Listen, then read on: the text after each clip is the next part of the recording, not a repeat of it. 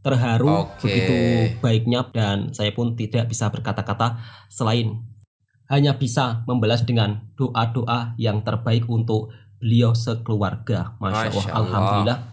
Selama saya bekerja di Malaysia, Alhamdulillah dipertemukan dengan orang-orang Orang-orang baik, bos yang baik. Ini sesuatu nikmat yang perlu sangat disyukuri luar biasa. Sifat orang Malaysia itu membuat eh, Mas Toha ini terharu.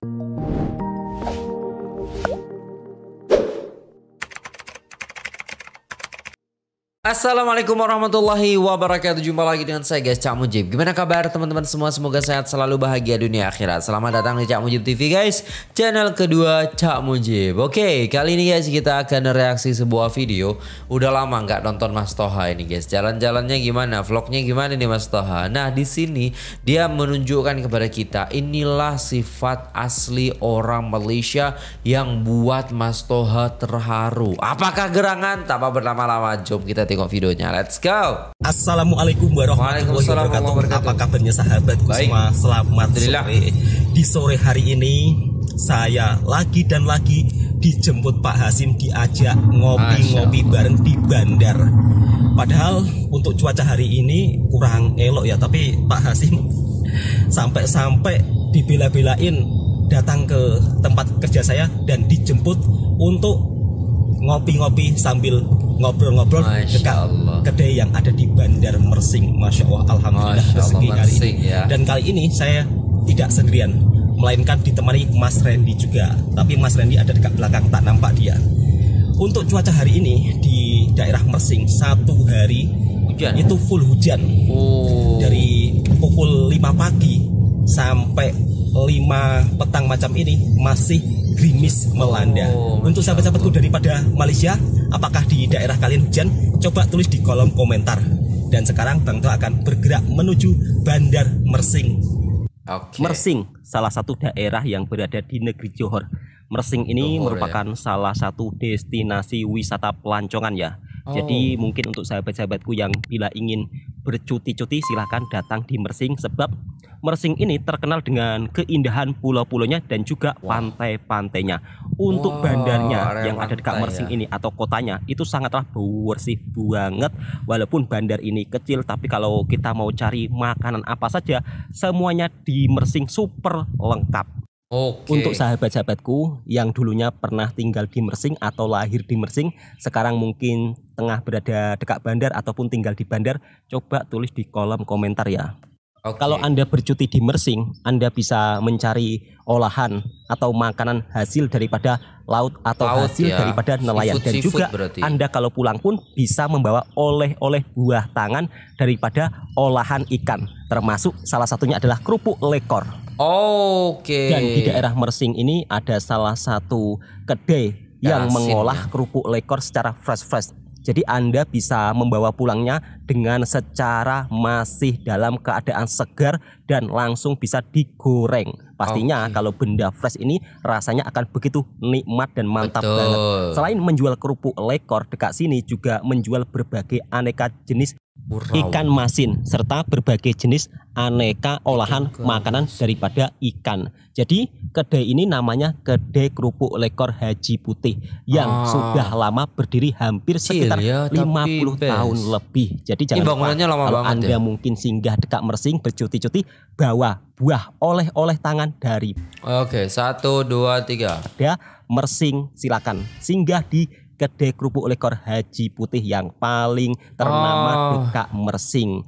Oh Tapi iya, buat kecil sahabatku gede semua, dalam. video ini saya bukan di endorse ya, melainkan saya ini ingin mempromosikan tempat-tempat menarik yang ada di Mersing. Sebab Oke. Mersing ini adalah salah satu tempat destinasi pelancongan lokal maupun internasional. Oke Oke. sahabatku, alhamdulillah setelah perjalanan yang cukup lumayan tidak jauh bukan tujuh hari tujuh malam ya. Akhirnya Bang Toha sudah mau sampai di kedainya dan kali ini saya diajak makan dan ngopi di sebuah kedai yang dekat dengan lapangan bola sepak yang ada di Mersing ya. Oke. Kebetulan kedai ini menjual berbagai jenis aneka makanan daripada Pakistan ini sahabatku semua. Jadi kali ini kita akan ngopi-ngopi sambil makan di sini. Wow Seperti apa yang saya bilang di Mersing ini Kedai walaupun mama, bandar kecil, tapi kalau soal untuk urusan makanan serba lengkap. Alhamdulillah kali ini pun saya juga dibelanja lagi dengan Pak Hasim. Jujur saya pun terkadang amat sangat segan, tapi beliau ini orangnya begitu sangat ramah dan baik hati. Katanya tak payah segan-segan, saya pun ikhlas untuk belanja kamu. Ini pun juga habis sedikit bukan banyak, dia bilang macam itu. Sebenarnya Bang Toha pun juga agak terasa segan lah. Hampir setiap sore Pak Hasim itu selalu datang menjemput saya untuk diajak makan ngopi-ngopi di sebuah kedai yang ada di dekat daerah Mersing inilah. Nah untuk teman-teman mungkin kalau daripada luar Mersing juga boleh singgah di kedai yang ada dekat sini. Jadi kalau kedai ini menjual berbagai aneka jenis makanan Pakistan, bukan makanan daripada Melayu ya. Jadi nasi biryani, terus kemudian roti-rotian macam itulah biasanya kalau di tempatnya Bang Toha harga makanan itu tidak tercantum ya tapi berbeda dengan suasana yang ada di Malaysia. Oh. kalau di oh. Malaysia kedai-kedai yang menjual makanan harga makanannya itu sudah tercantum. Ada jadi oh, ini, kita ini orang makanan India ini guys. Bener. Pesan makanannya sudah tahu harganya terlebih dahulu. Untuk masakan-masakan yang ada di kedai Pakistan ini ya masakannya itu seperti kari-kari Ya. Kebanyakan kuahnya itu memakai kuah kari. Untuk lokasi kedainya, tempat parkirnya juga luas. Terus kedainya juga sangat bersih ya kalau menurut saya dan ini dia. Lokasinya begitu sangat strategis. Untuk area tempat parkirnya juga begitu sangat luas. Okay. Depan terus sampingnya pun juga ada tempat parkir yang sangat nyaman lah untuk para yang datang ke sini tengah makan ataupun tengah ngopi-ngopi dan dekat sini itu juga ada menjual minuman teh daripada oh, khas Pakistan juga ya. Kali ini saya diorderkan roti puri oleh Pak Hasim. Roti puri ini merupakan salah satu roti yang roti digoreng. Puri. Terus kemudian nanti cara makannya itu menggunakan kuah kari. kari ya. Jadi kuah karinya nanti ada isinya daging, daging sapi ataupun daging kambing. Okay. Alhamdulillahirobbilalamin rezeki makan sore hari ini Jom buat sahabatku semua jemput oh, makan Bismillahirrahmanirrahim. Kalau di Malaysia makanan berbagai yang ada di dunia itu ada semuanya sahabatku lengkap. Okay. Roti puri dengan kuah kari daging kambing, masya Allah rasanya itu begitu sangat nikmat sekali. Untuk kuah karinya juga tidak begitu kuat ya atau tidak begitu pekat sangat dan rasanya pun juga cukup itu. lumayan enak. Kedai ini juga buka 24 jam. Wow. Hampir setiap hari Pak Hasim itu mengajak saya keluar makan petang-petang ataupun kadang malam-malam. Jujur ini pun saya membuat saya terharu banget ya karena tak sangka bisa kenal dengan Pak Hasim, orang yang sangat baik luar biasa. Dan saya pun hanya bisa membalas dengan doa-doa yang terbaik untuk Pak Hasim. Mudah-mudahan Pak Hasim sekeluarga murah rezeki dan Amin. dipermudahkan segala urusannya. Amin. Tidak hanya diorderkan roti puri saja, tapi saya juga diorderkan roti capati. Untuk roti capati ini rotinya mirip-mirip roti nan ya. Jadi okay. rotinya itu sangat lembut, apalagi kalau tengah panas-panas macam ini. Mm, rasanya ini ini itu... auto kalau ke Malaysia auto kayak balik ke Arab Saudi saya kayaknya sih dengan uh, konsep-konsep seperti ini makanannya. banget sahabatku semua. Jom sahabatku semua jemput makan. Bismillahirrahmanirrahim. Mm, mm, nyami nyami nyami nyami nyami banget lah.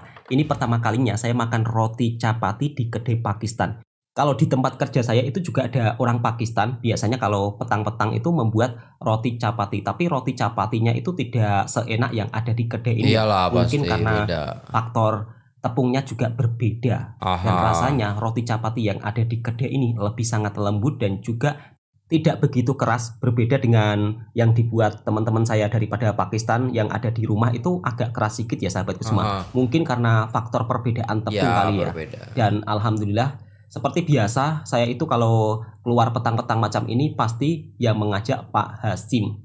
Terharu okay. begitu baiknya Pak Hasim dengan saya dan saya pun tidak bisa berkata-kata selain hanya bisa membalas dengan doa-doa yang terbaik untuk beliau sekeluarga. Masya, Allah, Alhamdulillah. Selama saya bekerja di Malaysia, Alhamdulillah dipertemukan dengan orang-orang baik, bos yang baik. Ini sesuatu nikmat yang perlu sangat disyukuri luar biasa. Ramai sahabat yang bertanya, Bang, abang itu gunakan apa sih selalu berjumpa dengan orang-orang baik yang ada dekat Malaysia? Selama dalam hidup ini, sahabatku semua, insya Allah kalau kita bisa usahakan senantiasa menolong orang walaupun dengan hal sepele saja Dengan senantiasa melakukan perbuatan baik, insya Allah kita ke mana saja akan aman-aman saja. Betul. Pak, terima kasih banyak loh. Kadang-kadang saya segan, Pak. Segan. Ini bukan ini. Kan. Hampir tiap petang Bapak ajak terus. Ya, ya. Kadang- banyak masuk seperti itu. Kadang-kadang saya pun segan sama Pak Hasim. Ah. Sebab beliau ini ha- hampir setiap petang tuh mengajak saya jalan-jalan di kawasan kampung maupun ngajak-ngajak ngopi-ngopi bersama. Ya macam Masya seperti ini. Allah. Masya Allah, Alhamdulillah. Minumannya gratis. ini minuman gratis, Pak. Nah, oke. Ayo, oke. Murah, murah banget. Kata Pak Hasim, murah banget. Berapa habis ringgit? 30 ringgit. 30 ringgit itu kalau uang Indonesia sekitar Oh iya murah banget guys. Kalau cuman uh, 30 ringgit. Tapi itu sebuah sajian yang masya Allah ya.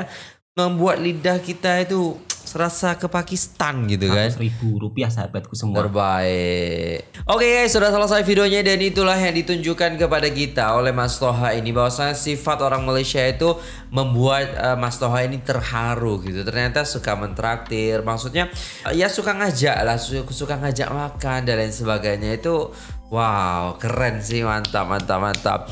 Dan itu juga pasti dialami oleh orang-orang yang ada di sana, orang-orang Indonesia seperti itu. Dan juga saya merasakan itu dulu ya guys ya. Oke, itu saja video kali ini. Terima kasih udah tengok video ini sampai selesai. Jangan lupa guys support Mas Toha di Toha Channel. Linknya di deskripsi, subscribe dan tengok video-videonya. Karena banyak vlog menarik daripada Mas Toha ini. Terima kasih, sampai jumpa di video selanjutnya. Apabila ada salah kata mohon dimaafkan. Assalamualaikum warahmatullahi wabarakatuh.